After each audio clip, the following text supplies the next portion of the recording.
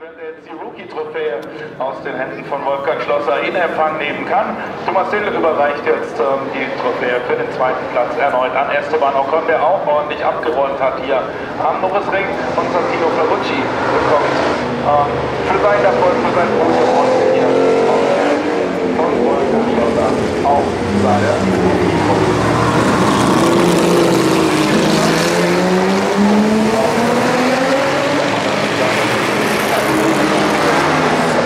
einmal aufgerufen, dann nochmal vorne an, aber gerade gibt es natürlich erneut eine Sektion. Ich bin zwar noch nicht in dem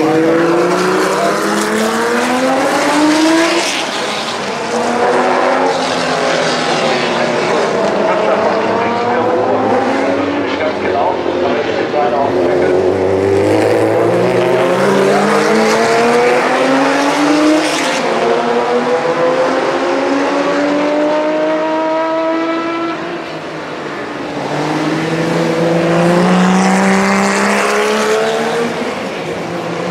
So, das war also dann auch mit der Formel 3 Europameisterschaft, aber natürlich auch insgesamt noch nicht dabei.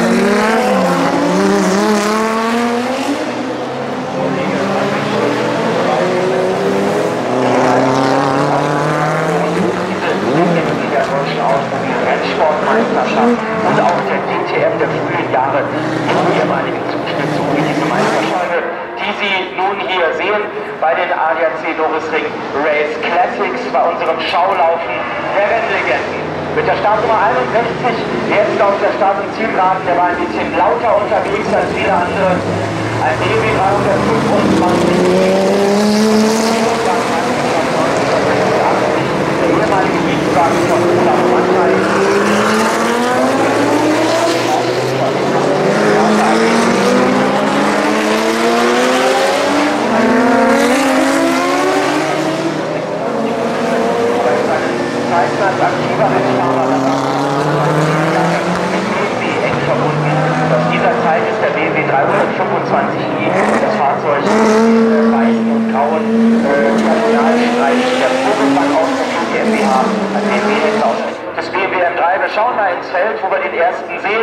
Feld, das angeführt wird von zwei Can-Am-Fahrzeugen und damit der Startnummer 31. Da sehen Sie bereits einen schwarzen BMW M3, der stammt aus der Saison 1988. Das war das Fahrzeug von Michael Krankenberg, ein BMW-Tuner aus dem Schwarzwald. Und sein Fahrer war ein Däne, nämlich Kurt Tief. Sein Sohn, der bei den 24 Stunden von Le Mans und auch vor einer Woche das 24 Stunden Rennen.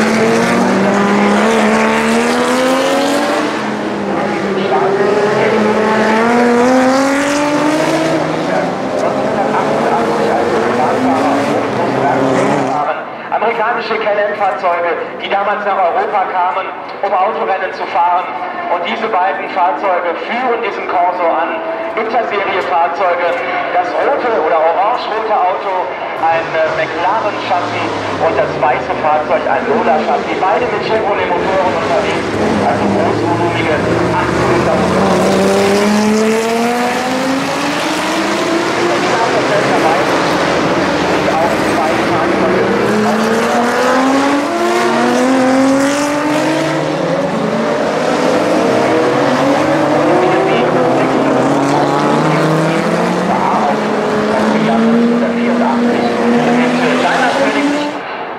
Deutschen Produktionswagenmeisterschaft.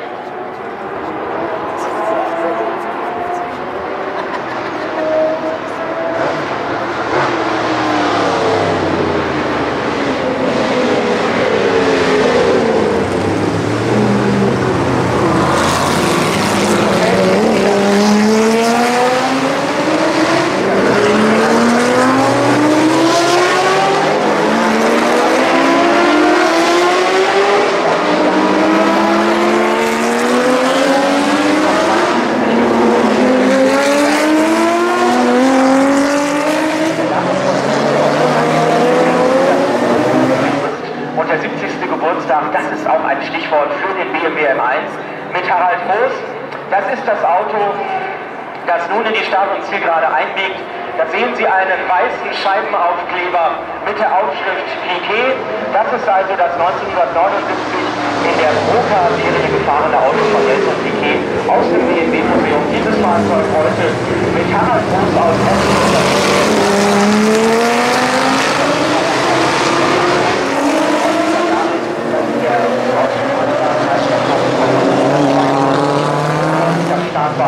der Startnummer 13 der Challenger aus dem Team von Jürgen Feucht aus Wittenbach im Hessischen notiert und fährt es auch heute wieder, sogar mit dem damaligen Fahreranzug der Oberall, der passt ihm noch. Und dieses Fahrzeug ist nun wieder unterwegs auf den Rennstrecken bei historischen Meetings.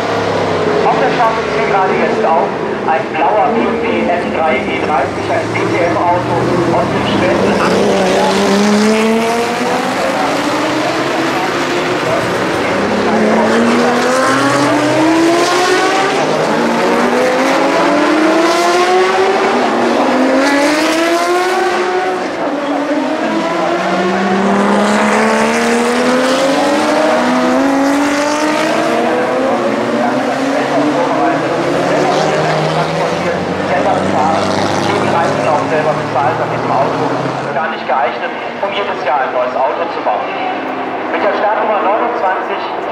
Rauscher Porsche 911.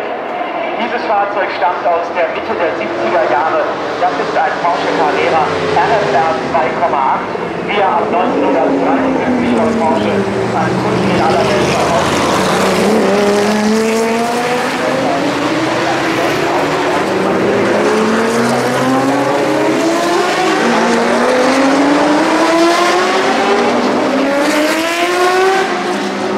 ein bisschen dezimiert Umfeld im Augenblick in die Boxenreihe hineingefahren ist ein Volvo 240 Turbo, ein Auto aus der deutschen Produktionswagenmeisterschaft 1985. Und das Fahrzeuge, die damals naturgemäß, da sie aus Schweden stammten, auch schwedische Fahrer hatten, nämlich Per Stuyvesant, das war ein Malermeister aus Schweden und vor allen Dingen einen äh, schwedischen Kampfpiloten, der bei der schwedischen Armee sein Dienst war, nämlich Per Gunnar oder Peggen Andersson, die diese Volvo 240 Turbo got it.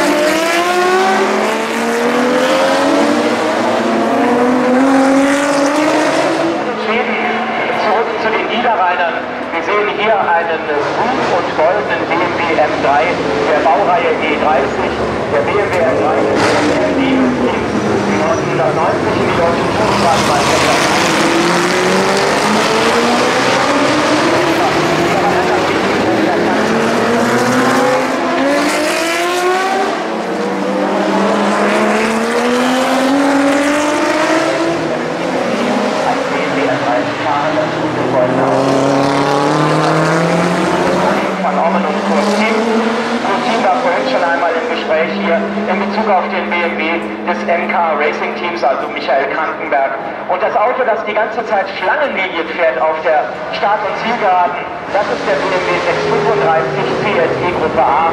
Und da sitzt seine königliche Hoheit am Steuer, Prinz Leopold von Weiß. Wir gehen an den Wald und an den Wolken.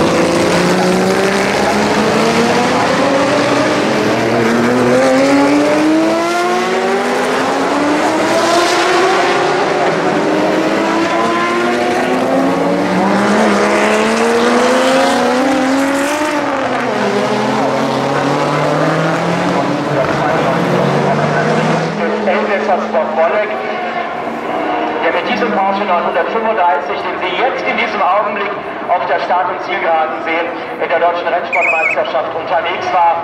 Damals ein schwierig zu fahrendes Auto mit vier Vorwärtsgängen, mit einem großen Turbolader und mit 670 PS, die erst einmal gewendet werden wollten.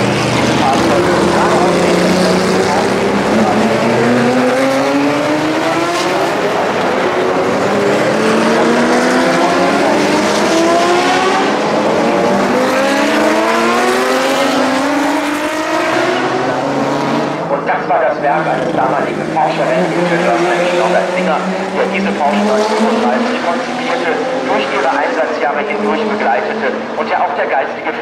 des Nachfolgemodells des Porsche 956 war. Auf der Start- und Zielgeraden jetzt ein Paket von Fahrzeugen. Wir sehen einen BMW M1, auf dem eine große Jeans zu sehen ist. Das ist der Ist Jeans BMW M1, äh, der damals eingesetzt worden ist von einem Markisenhersteller aus der Stadt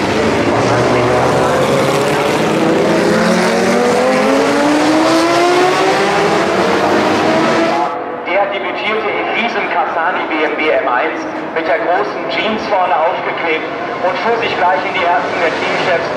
Und damit war der Weg bis in die Formel 1 äh, vorgezeichnet für Christian Danner in diesem Cassani BMW M1.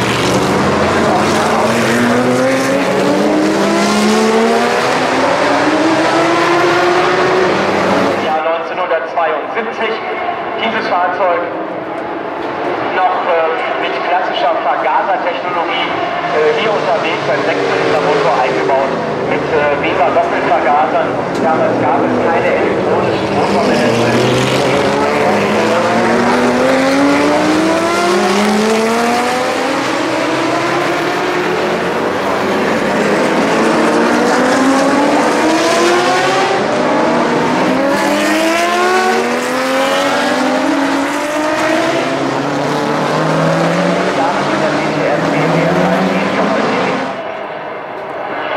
Auf der Geraden sehen wir jetzt ein Fahrzeug äh, in einem schwarzen Warsteiner Gewand, ein Mercedes CLK. Das ist ein Auto aus der frühen Zeit der neuen DTM, die im Jahr 2000 wieder an den Start ging. Die.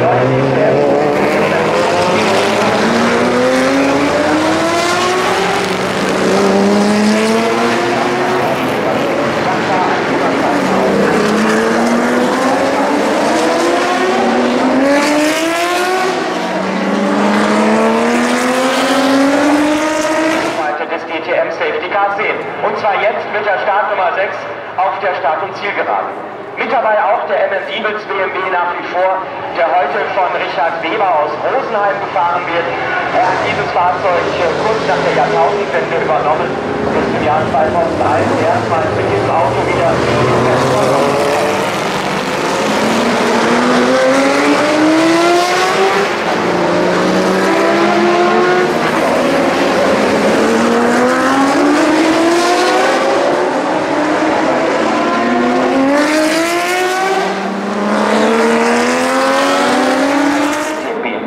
M3. Wir warten wieder auf die Spitzengruppe. Da sehen wir den Can-Am mit Peter Schleifer, äh, das Chevrolet-Fahrzeug. Und äh, wir sehen jetzt doch, dass einige Fahrzeuge sich mal trauen, auch nebeneinander zu fahren.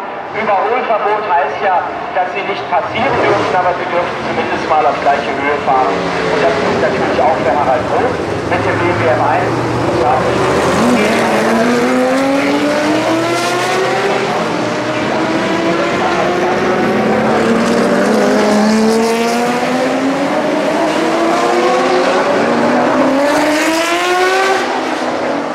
in dem jetzt Harald Groß aus Essen sitzt. Schwarz-weiß karierte Tuch ist bereits griffbereit. Das heißt, wenn Sie jetzt Ihre Kameras, Ihre Fotohandys oder Ihre iPads zur Hand haben, dann sollten Sie schnell noch einmal ein Erinnerungsfoto schießen von den Nürburgring Race Classics, denn äh, die Flagge ist bereits griffbereit.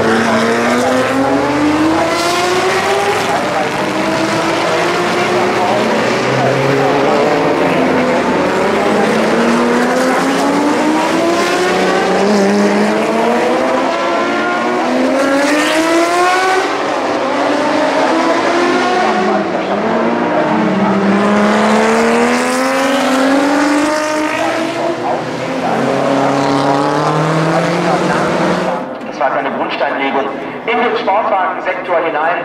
Er war dreifacher Le Mans-Sieger 19 äh, im Jahr 2000, 2001 und 2002 auf dem Audi V8. Viele von Ihnen werden das miterlebt haben. Und vor einer Woche erst ist Frank Bieler noch beim 24-Stunden-Rennen auf der Nürburgring Nordschleife unterwegs gewesen.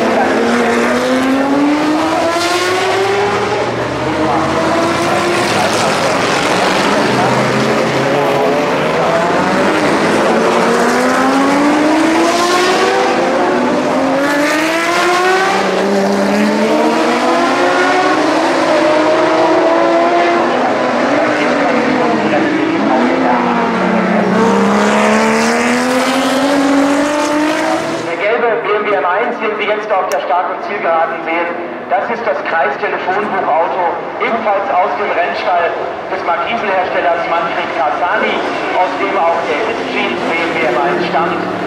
Dieser Kreistelefonbuchauto